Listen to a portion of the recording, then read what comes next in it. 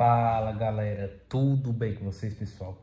Mais um vídeo no canal Nerds de Android e no vídeo de hoje vamos demonstrar aqui como você aumentar o tempo de atividade do seu Galaxy A32, certo? Tá vendo aqui galera, ó.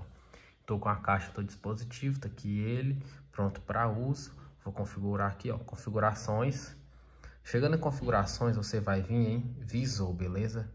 Clique em visor e galera, essa opção é bastante interessante para quem trabalha com dispositivo que precisa que ele fique muito tempo ligado, né? Sem mexer nele, no caso. Pronto, você vem visor e depois você vem aqui, ó. Deixa eu procurar aqui, ó. Duração da luz do fundo, tá vendo? Dá um clique. Pronto, isso aqui, galera, é o tempo de atividade do nosso Galaxy A32. Você pode aumentar para 2 minutos, para 5, para 10 pode deixar do jeito que você bem entender, certo? Aí você só volta e pronto, ó. Aqui ele vai ficar 10 minutos ligado, sem eu mexer nele, sem olhar para ele, sem nada, beleza? De boa, sem apagar, ok?